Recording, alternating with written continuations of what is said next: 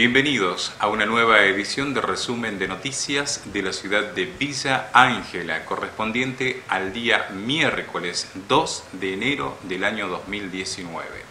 Durante 30 minutos vamos a compartir todo lo que sucedió, sucede y sucederá en nuestra ciudad. Bienvenidos. Recientemente el municipio de nuestra ciudad adquirió la maquinaria número 16. Se trata de una elevadora hidráulica. Con la misma se realizan trabajos de mantenimiento de luminarias en nuestra localidad. Habla al respecto el señor Eleodoro Quirós, secretario de Servicios Públicos. Vamos a hablar por el tema de la hidroelevadora, digamos. Este, sí, es una herramienta muy útil para nosotros. Este, ayer a la tarde hemos estado, eh, trabajando en lo que es el acceso norte en las luces y si vos te fijás eh, son columnas altas, pero bueno, gracias a Dios tenemos de sobra altura para poder, para poder llegar y, poder eh, arreglar las luces que, hay en ese, en ese acceso logramos una altura de 16, 17 metros, ¿no es cierto?, con, con todo lo, cuando está bien desplegado, digamos, este, tenemos para enganchar eh, los árboles, que esa era la necesidad que nosotros teníamos, porque con la, con, la otra elevadora, que es mucho más baja, tenemos para poner al, al, personaje o al personal que va a estar con la, con la motosierra para, para poder desgajar de a poco, por tramos vamos a ir haciendo es un trabajo que lo vamos a, incorporar ya también, eh, ya va a ser para el año que viene, ¿no? Porque hoy estamos abocados pura y exclusivamente a la parte de iluminación. Es medio ambiente y nosotros eh, la poda que hacemos eh, pasamos por lo que es la Secretaría de Medio Ambiente. No podemos evitar eso porque corresponde a esa área. O sea, nosotros no, no vamos a cortar ningún árbol, no podamos, no hacemos absolutamente nada si no tenemos el ok de medio ambiente. Ahora, cuando ellos nos dicen, sí, se puede hacer, bueno, perfecto, vamos y hacemos. Y si no, en este caso, por ejemplo, este tipo de poda de árboles grandes, importantes, eh, lo tenemos que coordinar con medio ambiente. Tenemos que continuar también por las calles, eh, calle España, que creo que en el transcurso de esta mañana ya están trabajando en ese, en ese lugar, la calle España, desde Colón hacia la parte, hacia Santa Fe, digamos, lo que es la parte de pavimento. Eh, después tenemos algunos barrios que tenemos que hacer, así que bueno, vamos a ir trabajando, se está trabajando eh, así que todos los días este, que tengamos que hacerlo, se lo va a estar haciendo, se está trabajando en el turno tarde también, eh, por ahí también hay alguna urgencia que hay que hacerlo de noche, también se lo está haciendo. Así que bueno, es una herramienta que se ha incorporado muy bueno para, para el área de servicio público, que también, eh, como te digo siempre, siempre estamos coordinando las herramientas que tenemos nosotros en servicio público con las distintas áreas. Momento de compartir con ustedes palabras del secretario de Gobierno, señor Boris Balú, quien hace un balance de la gestión de dicha área. Desde el 4 de mayo que me hice cargo de, por solicitud del intendente, me hice cargo de la cartera de, la Secretaría de Gobierno específicamente, más que una cartera, es un área de de interacción entre todas las secretarías y subsecretarías que tiene la municipalidad y realmente hemos estado cumpliendo, estimo, los preceptos que nos marcó el intendente PAP, que es articular acciones entre cada una de las secretarías y también mantener, eh, mantener eh, la legalidad y, mantener la, concordancia de cada una de las secretarías. Por eso desde la Secretaría de Gobierno no se hace eh, trabajo social, sino que se trabaja con el área de desarrollo social.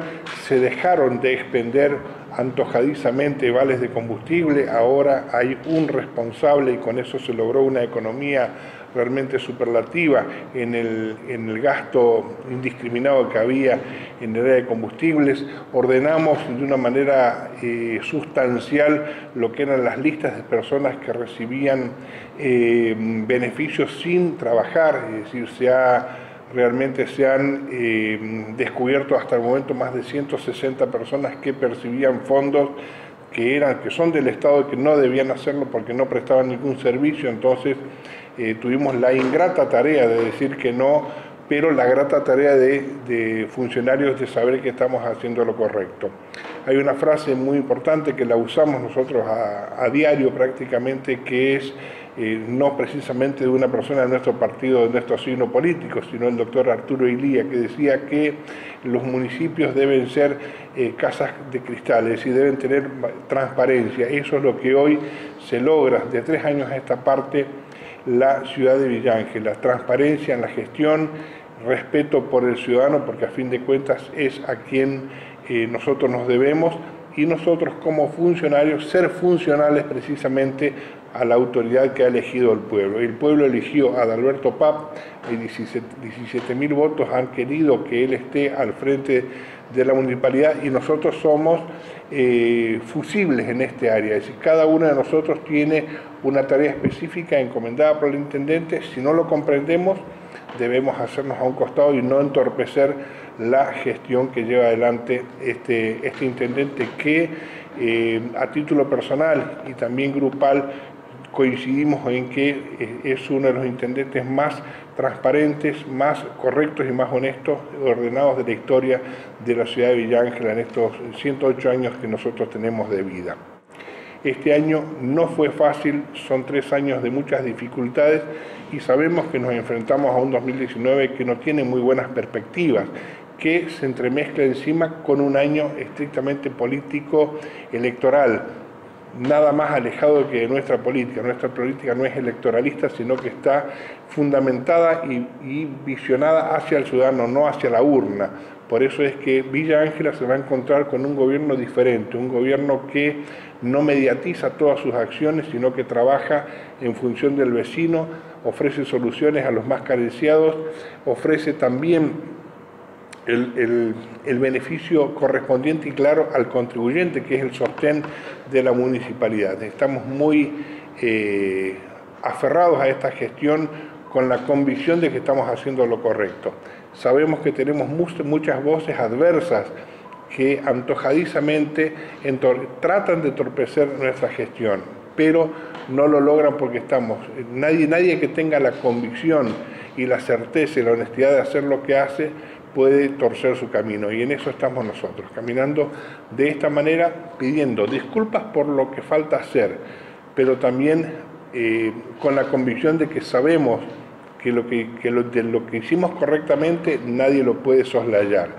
Eh, recién el intendente hablaba de la cantidad de calles y de cuadras de pavimento que se, que se hicieron por distintas administraciones, pero todas se han hecho en la gestión PAP y muchas de ellas debemos disculparnos con la sociedad de Villángela porque muchas cuadras de pavimento no las pudimos hacer porque es material de material, eh, material de cemento que se ha usado para parchar calles que no las hicimos nuestra gestión, sino que tienen tres o cuatro o cinco años de gestión y que ya están rotas. Tuvimos que distraer fondos de, de, pavimentos nuevos para tapar calles viejas que se siguen rompiendo desgraciadamente. Nosotros podemos decir que esta gestión PAP le va a tener que pedir disculpas a, la gestión del intendente de 25 años, pues recién ahí se van a romper nuestras calles porque están hechas con conciencia y con alta calidad como todas las cosas que se hacen. También debemos decir que hay una reivindicación histórica en el barrio Sargento Cabral, uno de los barrios más postergados de la ciudad de Villanquela, que hoy está vislumbrando una de las plazas más bellas que va a tener el interior del Chaco, que tiene toda la, toda la coincidencia del área deportiva, recreativa y también cultural que se va a establecer en ese, en ese espacio que es en la Plaza Sargento Cabral.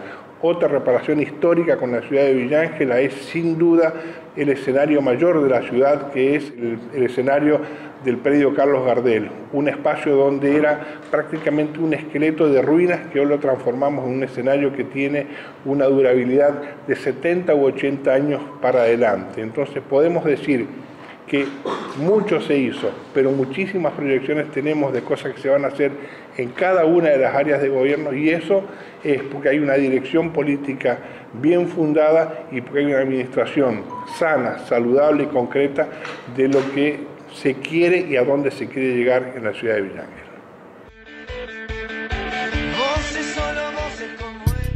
¿Sabías que el mosquito que transmite dengue también puede causar chikungunya y zika?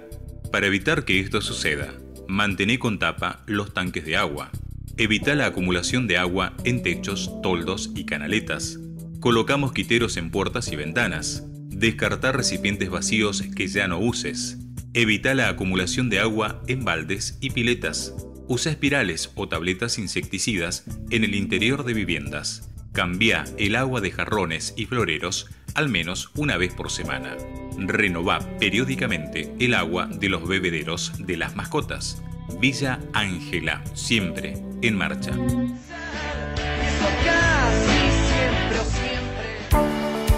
Las reglas de tránsito te cuidan. Respetalas. Circulá siempre por la mano derecha y para pasar a otro vehículo, hacelo por la mano izquierda. Recordá que siempre, en cada esquina, tiene prioridad de paso quien circula por la mano derecha. Villa Ángela, siempre en marcha.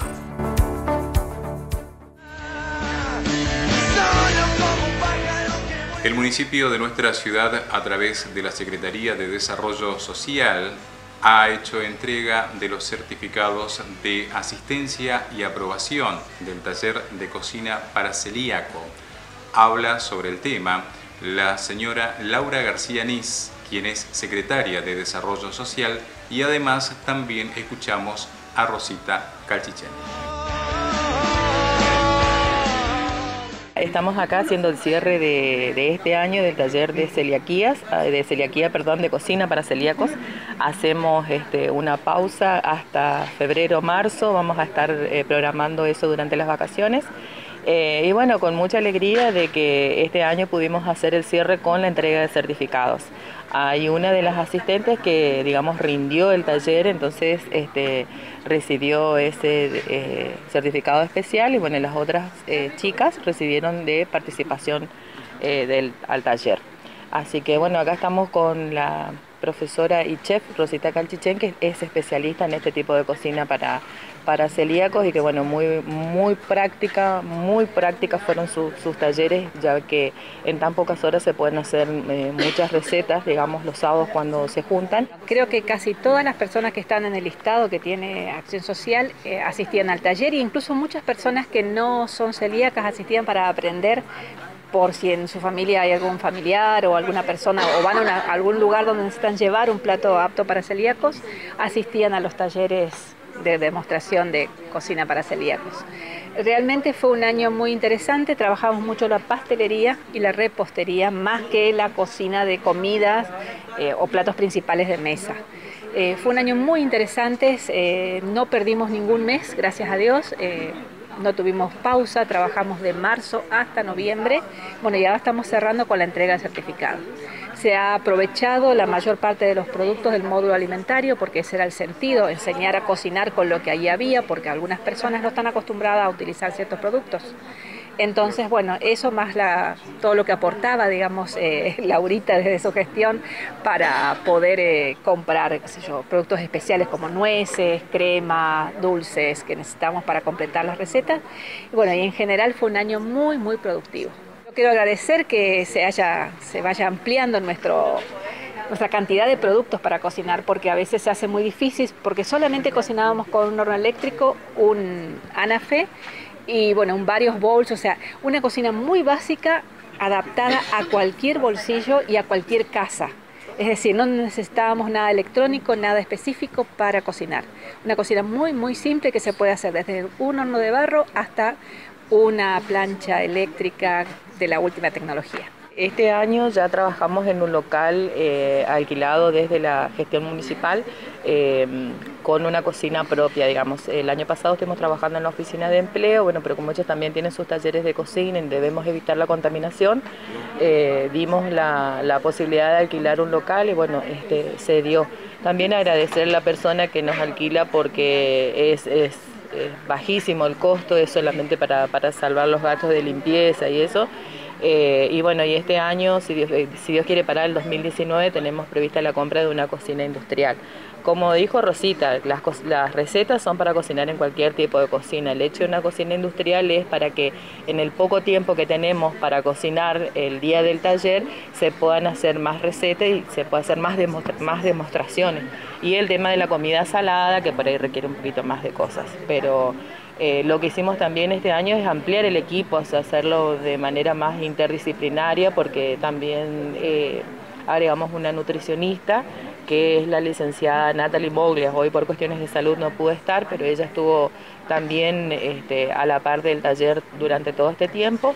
Y la idea es, eh, es esa, ¿no? poder ir completando un poco más, porque digamos, esta, estas situaciones así de enfermedad donde yo digo siempre que la comida del celíaco es el remedio del celíaco, así que entonces queremos que sea lo mejor y lo más completamente posible. Así que agradecer desde ya a la gestión de Alberto Pap, a la Secretaría de Economía que está siempre presente y, y ayudando hasta que este tallercito vaya creciendo. Y por supuesto a las personas que se que, se, que forman parte de este taller, especialmente a, Rosita, que es una persona celíaca que vino a aportar como ciudadana su idea eh, y sus conocimientos para favorecer esto, este taller. De finales de febrero, marzo estaríamos iniciando el primer taller. Lo vamos a hacer, digamos, público y nosotros además tenemos un grupo de WhatsApp con el que estamos conectados todos los que pertenecen a este grupo y todas las que asisten, entonces nos mantenemos en contacto siempre. Yo quiero agradecer a todo el equipo que me acompañó este año, porque gracias a ellos las cosas se logran, porque yo voy a cocinar, voy a preparar y voy a demostrar, pero todo el resto lo han hecho las chicas, lo han hecho los chicos del equipo, que han estado siempre ahí, que con la garrafa, que trayendo las cosas, que moviendo las cosas que se traían, eso lo agradezco infinitamente y sobre todo a la eh, nutricionista, porque ha ayudado a responder preguntas que la gente hacía durante la preparación de los platos. Hay gente que pregunta, bueno, si esto, eh, yo soy celíaco diabético, ¿cómo cambio esta receta? Entonces, ¿qué puedo agregar? ¿Esta cuántas calorías tiene? Porque hay personas que les preocupa, porque un celíaco no solamente es una persona que de peso bajo, también puede ser una persona que tenga eh, obesidad mórbida y es celíaco, o sea, hay cuestiones nutricionales que hay que tener en cuenta. Y en ese sentido, nuestra nutricionista este año salvó muchísimas situaciones. Desde ya, muchas gracias y nos vemos el año que viene. Son varios los trabajos y actividades realizadas por el área de planificación y tecnología. Habla al respecto el profesor Alberto Svensson.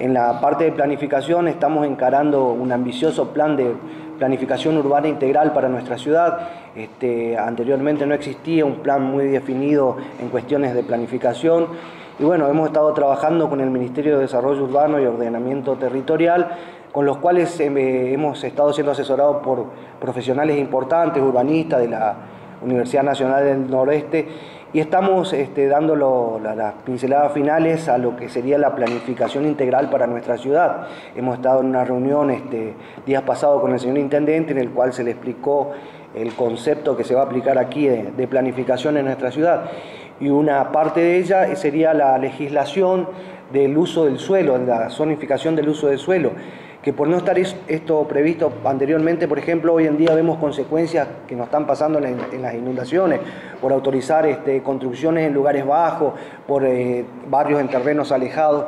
Bueno, todo eso debemos dejar planificado para que en el futuro los futuros habitantes de nuestra ciudad, digamos, no puedan, no, no, no tengan esos inconvenientes. Y también en lo que respecta a planificación hemos trabajado en la regularización dominial con el RUB, el Registro Único del Beneficiario del Hábitat, en el cual hemos solucionado el inconveniente de cientos de familias que necesitaban bajar la luz, el agua, hacer otros trámites administrativos. Les hemos dado su certificado para que puedan acceder a ese tipo de servicios y también ya este, encuadrarlo en un futuro título, digamos, como que va eh, funcionando el procedimiento administrativo. También estamos trabajando en la ley 7005, que es regularización dominial privada. Este, estamos asesorando, estamos dando los primeros pasos por cuanto esto es nuevo en nuestra, en nuestra ciudad, pero bueno, estamos encaminados a ejecutar esa, esa ley. En lo que respecta a educación, tenemos eh, la parte tecnológica en el punto digital. Bueno, este, está claro a las vistas ya eh, hoy en día, que es una política de Estado del intendente PAP, el tema de la educación. Está muy presente, tenemos más de 10 carreras entre terciarias y universitarias ejecutándose en nuestra ciudad. Todas son absolutamente gratuitas, eso hay que, hay que rescatar.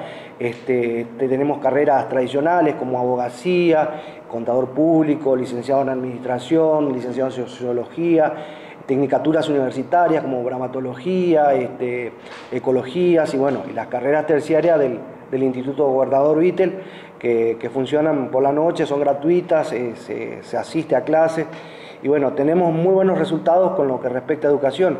Y últimamente, eh, ante un gran esfuerzo que ha realizado el, municipio y por orden del intendente, fue mantener un caos, que un caos ya, digamos, este, dejó de ser gratuito, pero nosotros lo mantenemos gratuito en nuestra ciudad. Esto es algo muy valorable para los chicos, sobre todo que no pueden acceder a la educación, o hay muchas personas que trabajan por ahí, que yo, me ha tocado hablar con repartidores que, no pueden su sueño fue ser abogado, por ejemplo, y no, no pudieron ir a estudiar y no podían ir a la mañana a, las universidades virtuales que hay acá. Y bueno, esto le viene a solucionar un poco y cambiarle la vida. Estaban muy contentos y muy agradecidos. Y bueno, este, también hacemos cursos de capacitaciones, de, de, computación, de diseño gráfico, de diseño de planos. Y bueno, tenemos proyectado seguir creciendo y mantener que todo esto sea gratuito, que es una, es una parte de la política que, de Estado que tenemos para nuestra ciudad.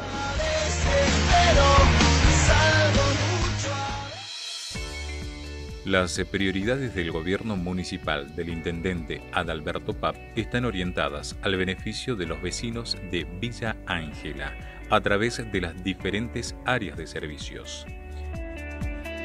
Se impulsa el programa de soluciones habitacionales para mejorar la calidad de vida de los ciudadanos y el programa de celiaquía a través de la entrega de módulos alimentarios y talleres de cocina se realizan acciones de erradicación de basurales a cielo abierto, venta de material reciclado en la planta de residuos que produce el valor agregado y reforestación en avenidas y espacios públicos.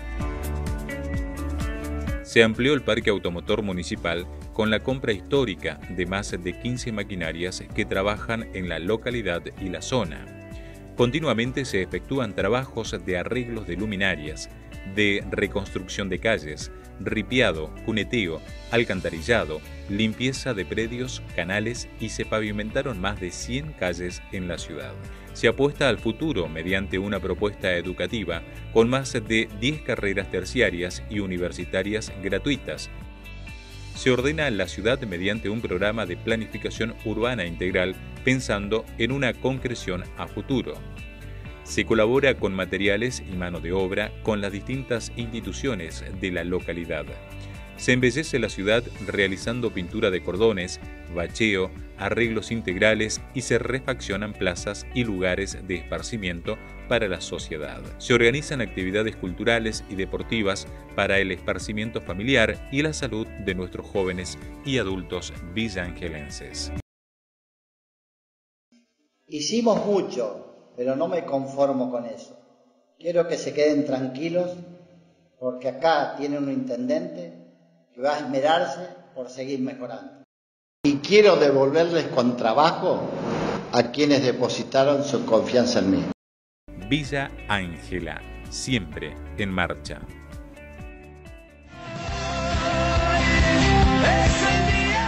El municipio de nuestra ciudad ha recuperado y reparado una cargadora frontal que será utilizada por la Secretaría de Medio Ambiente y Municipio Saludable.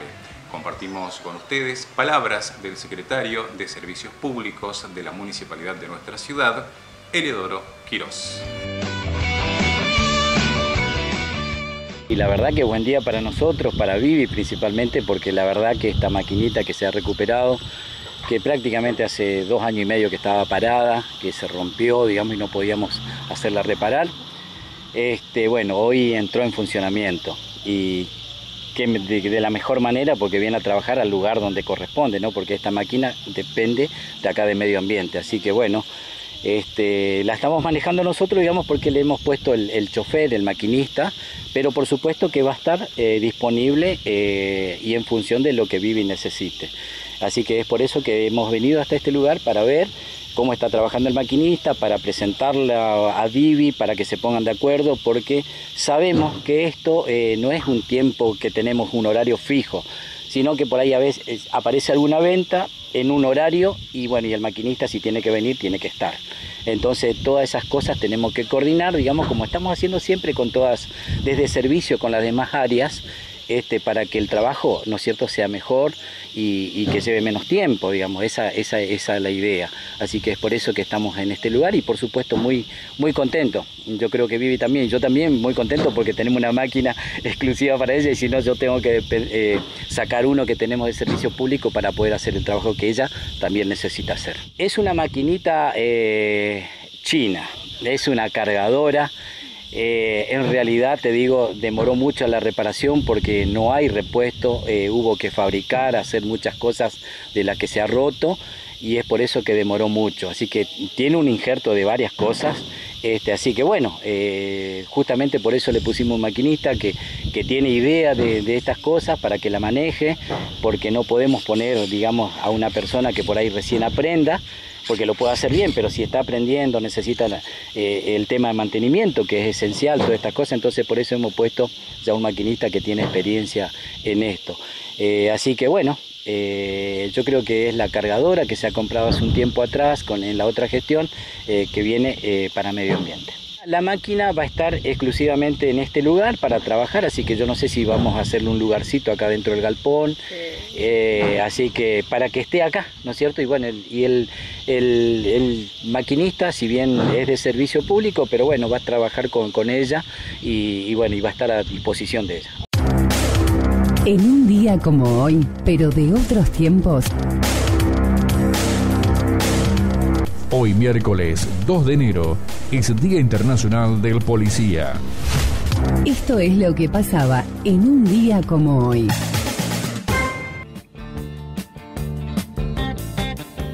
Momento del cierre de resumen de noticias de la ciudad de Villa Ángela, correspondiente a este día miércoles 2 de enero del año 2019. Te recordamos que podés escuchar Radio Municipal en el 87.9 MHz. Muchas gracias por compartir estos 30 minutos con nosotros. Hasta la próxima.